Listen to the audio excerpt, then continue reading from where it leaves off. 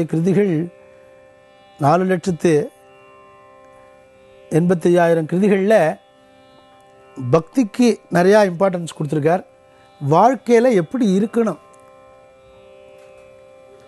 எப்படி இருக்கணும்? அன்னை அன்னைக்கு எப்படி இப்படி இருக்கணும்? எப்படி இப்படிலாம் இருக்கக்கூடாது. ஏன்னா முன்னாடி அவரெல்லாம் அதுமாரி இருந்திருக்கார். அதனால இப்படிலாம் இருந்தால் பகவானுடைய கிருபை நமக்கு கிடைக்காது. பகவானுடைய கிருபையை எப்படி சுலபமாக அடையலாம்? அதானே இதில்? அதனால் எல்லாரோடையும் ஒத்துமையாக அப்படி இருக்கிறது. மைத்ரீம் பஜத் இதனுடைய கான்செப்டே அதானே. அதனால் எல்லாரோடையும் ஒத்துமையாக எப்படி இருக்கிறது. எல்லாரோடையும் மித்ராலாக எப்படி இருக்கிறது. நமக்கு யாருமே சத்துருக்களே இருக்கக்கூடாது. அந்த அளவில் எப்படி கொண்டு போகிறது விட்டலான்னு சொல்லு கிருஷ்ணான்னு சொல்லு. அவன் எந்த ஜாதியாக இருந்தாலும் பரவாயில்ல. அவன் காலில் விழுங்கிறது பகவன் நாம யார் சொல்கிறானோ அவனை போஷி. நாம சங்கீர்த்தனத்தை பண்ணுங்க. முடியலேன்னு சொல்லாதீங்க. அதுவும் இந்த காலத்துக்கு அதுவும் நீங்கள் பண்ணியிருக்கிற அந்த கான்செப்ட் வந்து ரொம்ப யூஸ்ஃபுல்லான கா கான்செப்ட் இப்போ நீங்கள் நிறையா பண்ணியிருக்கீள் அதுவும் புரந்தரதாசர் பண்ணுறது நமக்கு ஸ்ரேயஸ் ரொம்ப. புரந்தரதாசர் இல்லைன்னா சங்கீதமும் கிடையாது. அவருடைய வாக்கியங்கள்லாம் காலங்காலமாக காலங்காலமாக அடுத்த ஜெனரேஷனுக்கு உபயோகப்படக்கூடிய கான்செப்ட் அதெல்லாம் குழந்தைகளுக்கு சொல்லலாம். எப்போ சொல்கிறது எப்போ பாடுறதுன்னு கேட்டால் இப்போ எப்போ சொல்லுன்னு சொல்லலாம். அத்தனை கீர்த்திகள் பண்ணியிருக்கார் அவர். அதனால் புரந்தரதாசருடைய கிருதிகள்னு இன்னும் பார்த்தா இன்னும் நிறையா கீர்த்தனைகள் இருக்குது இருக்கு. அவரோட இஷ்ட தேவதை புரந்தர விட்டலா ஐ மீன் புரந்தர விட்டலான்னு எல்லாத்துக்கும் கிருஷ்ணன். தான். கிருஷ்ணன். அவர் முத்ராச்சரணம் புரந்தர விட்டலன்னு போட்டுருக்கார். புரந்தர விட்டலான்னு அவர் இருக்காரு இல்லையா? அவருக்கு கிருஷ்ணர் தான் முழுக்க முழுக்க கிருஷ்ணன். அதான் ஒரு பர்டிகுலர் க்ஷேத்திரத்துல போய் அங்கேயே இருந்து பாடி அந்த மாதிரி இருந்தாரா? இல்ல? நிறைய எல்லா இடத்துலையும் பாடியிருக்கார் அவர் போகாத இடமே கிடையாது. கடைசியில் பண்டரி க்ஷேத்திரத்துக்கு போய் பண்டரி க்ஷேத்திரத்தில் போய் இருக்கும்பொழுது தான் பகவான் இன்னும் அதுக்குள்ளார நிறைய கீர்த்தனைகள் பண்ணிட்டார் இவர். ஆரம்பத்திலே பாடுறார். உஞ்சவர்த்திக்கு கையில் சொம்ப எடுத்துன்னு கிளம்பும்பொழுதே மோசஹோத நல்லோன்னு பாடுறார். இத்தனை வருஷமாக என்னுடைய லைஃப் பூரா நான் வேஸ்ட் பண்ணிட்டேனே. இந்த பகவான் நாம ருச்சியை தெரிஞ்சுக்காம போயிட்டேனே. இவ்வளோ ருச்சி இதில் இருக்குன்னு தெரியாமல் போயிட்டுது. ராமநாம பாயசகே கிருஷ்ணநாம சக்கரேன்னு பாடுறாரு இவர். எப்படி பத்ராஜ ராமதாசர் மதுரச முலக்கண்டே ததிகிருத ரசகண்டேன்னு பாடுறாரே. ஓ ராமா நீ நாமம் ஏமி ருச்சிரான்னு பாடுறாரு. அந்த- மாதிரி இவர் சொல்றார் இந்த இதனுடைய ஸ்வீட்னஸை தெரிஞ்சுக்காம போயிட்டேனே. இது ஏதோ ஸ்வீட்னஸ்னால் வாயில் போட்டோன்னே கொஞ்சம் அஞ்சு நிமிஷம் திதிக்கும்னு இல்லை. நிரந்தரமான நித்தியானந்தத்தை கொடுக்கக்கூடிய இந்த பகவன் நாம சங்கீர்த்தனத்துடைய பெருமையை தெரிஞ்சுக்காம போயிட்டேனே. அது சங்கீதத்து மூலியமாக எஸ்டாப்ளிஷ் பண்ணியிருக்கார் புரந்தரதாசன் அதனால் கடைசியில் இப்போ பண்டரி க்ஷேத்திரத்தில் போய் அவர் ஒரு இடத்துல தங்கும் பொழுது இதே மாதிரி ஒரு நாட்டியம் அங்கே அங்கேயே வர. இந்த நாட்டியம் அங்கே சொல்கிறா நீங்கள் ரொம்ப வயசாகிடுது இவருக்கு.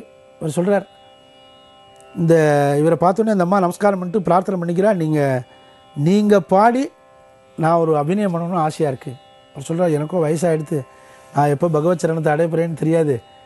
என்ன பாட சொல்கிறியே சொல்கிறா நீங்கள் பாடி நான் ஆடிட்டேன்னா எனக்கு போகிறோம் நாளைக்கு ராத்திரி நான் நீங்கள் பாடணும் நான் ஆடணும். சரின்னு விட்றா. நினச்சிட்டு இருக்கார் அப்படியே படுத்துன்னு தூங்கி போயிடுறார் இவர். மறுநாள் பண்டரி க்ஷேத்திரத்திலேயே வெளியில் கோயிலுக்கு பக்கத்தில் படுத்துன்னு தூங்கி போயிடுறாரு அந்த ஞாபகம் இல்லை இவருக்கு. முத நாள் சொன்னது. சாக்ஷாத் பாண்டுரங்கனே புரந்தரதாசரா அந்த நாட்டியம் அங்கே வீட்டுக்கு போகிறார் கையில் ரெண்டு தங்கத்தினால வளையல் பாண்டவங்களுக்கு போட்டிருக்கு. போய் உட்காந்து புரந்தரதாசர் வேஷத்தில் உட்காந்துருக்கார் இவர் பாடுறார். இந்த அம்மா ஆடுறா. ரொம்ப நன்னா ஆடினம்மா. பிரமாமா ஆடினா நீ பரமக்ஷேமாக இருக்கணும் அப்படின்னு சொல்லிட்டு கையில் போட்டுருக்கிற ரெண்டு வளையலையும் கட்டி அந்த நாட்டியம் வங்கிக்கு அனுகிரகம் பண்ணிவிடுறார் வந்துடுறார். மறுநாள் காலம்பரை இவர் எழுந்திருக்கிறார். புரந்தரதாசர் எழுந்துட்டு பக்கத்தில் இருக்கிற நதியில் போய் ஸ்நானம் பண்ணுறதுக்கு போய் சந்தியாதனம் பண்ணி ஜபங்கள்லாம் பண்ணிட்டு இருக்கார் இந்த பட்டாச்சாரியார் கோவில் பூஜை பண்ணுறவர் வந்து க கதவை திறந்து பார்த்தா ரெண்டு வளையல காணும் பாண்டுறங்கன்னு இல்லை அது ரெண்டு வளையலை காணுமேன்னதே இவருக்கு ஒன்றும் புரியல. இந்த ராஜாட்ட போய் சொல்கிறார் ராஜா சொல்கிறா வளையல் திருட்டு போகிறதுக்கு சான்ஸே கிடையாது. இந்த வளையலை கொண்டு யார் கொடுக்குறாளோ எடுத்தவா. அவளை உடனே நான் ரிலீஸ் பண்ணிவிடுறேன் கொடுக்கலேன்னு சொன்னால் சிரச்சேதம் விடுறேன். தண்டோரா போட்டு எல்லா இடத்துலையும் அனௌன்ஸ் பண்ணியாச்சு. இது இந்த நாட்டிய மங்கைக்கும் காதில் விழுந்துடுத்து.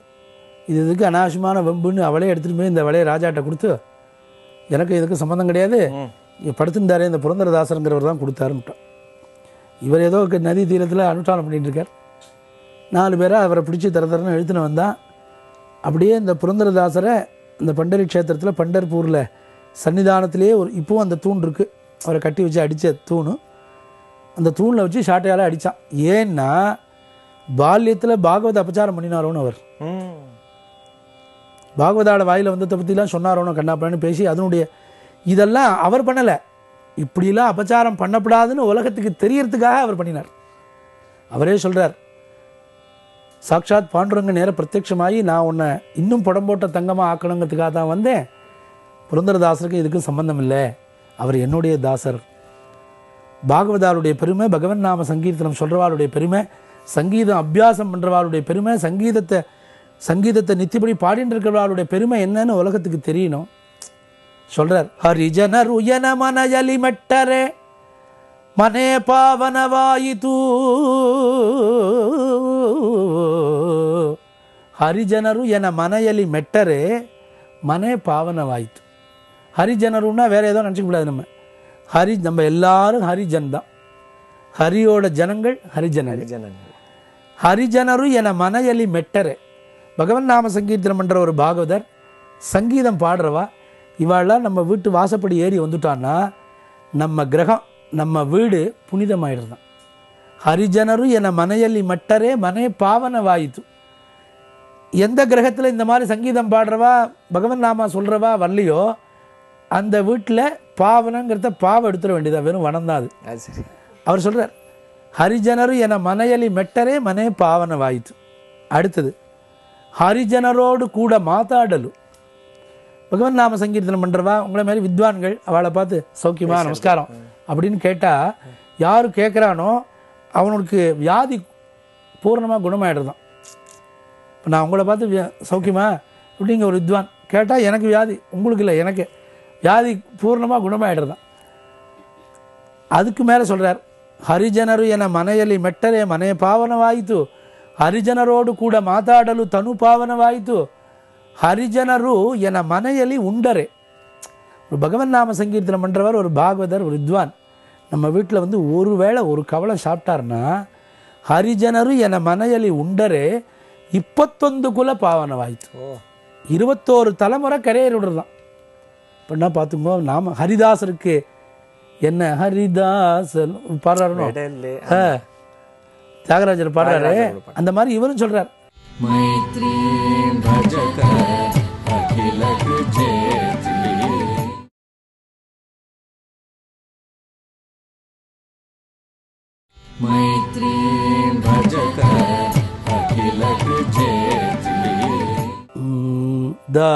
நிந்தி சபேடா.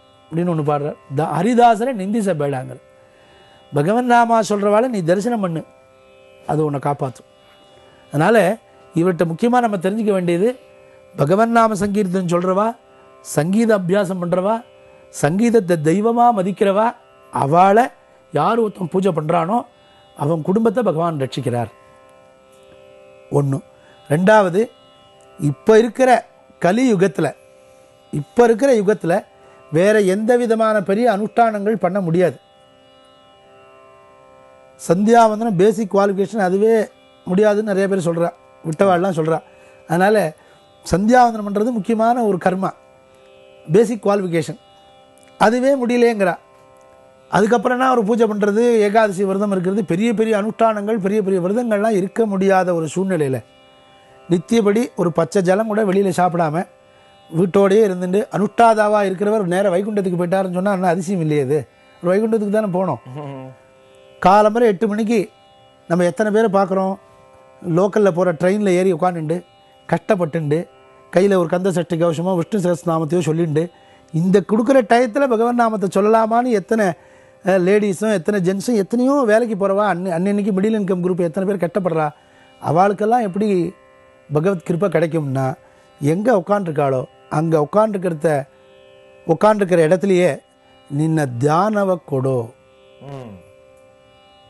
நின்ன தியானவ கொடு. உட்காண்டிருக்கிற இடத்துலேருந்து கிருஷ்ணா அப்படின்னு நினச்சிக்கோ போகிறோம் விரைஞ்சு சொல்லவே வேண்டாங்கிறார். முடிஞ்சா சொல்லு. சொல்ல முடியலையா? மனசுனால கிருஷ்ணா கோவிந்தா இதை விட ஒரு சுலபமாக பக்தியை பரப்புறதுங்கிறது புரந்தரதாசரால் மாத்திரம்தான் முடியும். பக்தி மார்க்கம் ஃபுல்லா அப்ப அவரோட கிருத்திகள் எல்லாமே இப்போ நமக்கு கிடைச்சிருக்கா இல்லை நிறைய போயிட்டா அவர் வந்து நாலு லட்சத்து எண்பத்தி ஐயாயிரம் கிருதிகள் பண்ணியிருக்கார்.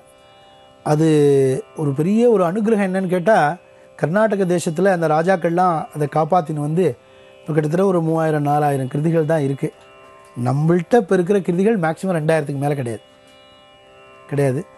ஆனால் இப்போ திருப்பி திருப்பி நிறையா கிருதிகள் பா ஜெகதோத்தாரணா இந்த மாதிரி பாடின கிருதிகளே நிறையா இருக்குது பாடாத கிருதிகள் நிறையா இருக்குது ಪಾಡಾದ ಕೃತಿಗಳು ಬರೋ ನಮ್ಮ ಮನೆಗೆ ರಂಗಯ್ಯ ನೀನು ಬಾರೋ ನಮ್ಮ ಮನೆಗೆ இன்னொன்று பாடியிருக்கார் ஒன்று ராமர் ஒன்று கிருஷ்ணர் ஆ. முதல் லைனில் ராமர் வரும் அடுத்ததில் கிருஷ்ணர் வரும் அதனால் ரெண்டு பேரையும் நான் சேர்த்து உபாசனை பண்ணேன்னு சொல்கிறார் அவர் அனந்த பத்மநாபா அப்ரமேய ரிஷிகேஷ தானவந்தகா கிருஷ்ண தசரத புத்திர ராம எத்தனை கிருதிகள் எத்தனை கிருதிகள் பண்ணியிருக்கார் எல்லாமே கன்னடத்துல எல்லாமே கன்னடம் தானே அவருடைய மாதృ பாஷை கன்னடம் வேற சம்ஸ்கிருதத்திலயோ வேற பாஷையில நிறைய சமஸ்கிருதத்தில் சமஸ்கிருத வார்த்தைகள் நிறைய வருது. அதில் நீங்கள் அப்படியே தியாக பிரம்மத்தோட கம்பேர் பண்ணியே பார்க்கலாம் தியாக பிரம்மம் பாடுறாரோனோ இந்த வனஸ்பதி ராகத்தில் பரியாஜகமா அதுக்கு என்ன மீனிங்கோ அதே மீனிங் யாகே நிர்தயநாதியோ யாகே நிர்தயநாதியோன்னு ஒன்று பாடுறார் ಅಜಾಮಿಳನು ಅಣ್ಣನು ವಿಭೀಷಣನು ತಮ್ಮನು ನಿಜ ರುಕ್ಮಾಂಗದ ನನ್ನು ಮೊಮ್ಮಗನು ಅವರೆಲ್ಲ ಹಿತರನೋ ನಾನಿನಗೆ ಅನ್ಯನೋ நியாயவல்லவே கிருஷ்ணாங்கிறார் அவர் எப்படி பாடுறாரோ அது மாதிரி ஒரே தீம் ஒன்று தான் அவாவா ரீஜனல் லாங்குவேஜில் அதை எஸ்டாப்ளிஷ் பண்ணியிருக்கா பக்தியை. அவருடைய இன்ஃப்ளூயன்ஸ் அதுக்கப்புறம் வந்த நிறைய கம்போசர்ஸ் மேல இருந்திருக்கு நிறையா நிறையா நிறையா. இல்லையா? நிறையா. நிறையா. இவருக்கு முன்னாடி ஜெயதேவர் பண்ணியிருக்காரே டுவெல்த் செஞ்சுரியில். ஜெய ஜெயதேவர் தான் ஆரம்பம். டுவெல்த் செஞ்சுரியில் ஜெயதேவர் பண்ணியிருக்கார். அதான் பஜன சம்பிரதாயத்தில் கீத கோவிந்த மகாகாவியம் அஷ்டபதி. அவர் நாயக நாயகி பாவத்தில் பண்ணிவிட்டார். ஒரு ஜீவாத்மா ஒரு பரமாத்மா. பரமாத்மாவனுடைய கிருபை ஜீவாத்மாவுக்கு வேணும்னா ஒரு குரு வேணும். குரு கிருபை இல்லாமல் ஜீவாத்மா பரமாத்மாவனுடைய கிருபை அடைய முடியாது. நம்ம எல்லாரும் ஜீவாத்மாக்கள். பரமாத்மா பகவான் அவருடைய கிருபை அடையணும்னா ஒரு குரு வேணுமே நமக்கு. ஆமா. அதனால அந்த குரு கிருபை வேணுங்கிறத அவர் எஸ்டாப்ளிஷ் பண்ணார். ஜெயதேவர். ஆமாம் அந்த குரு கிருபை கிடைச்சி கொடுத்து சாக்ஷாத் குருவே வந்துவிட்டார் புரந்தரதாசர். சங்கீத பிதாமகரா.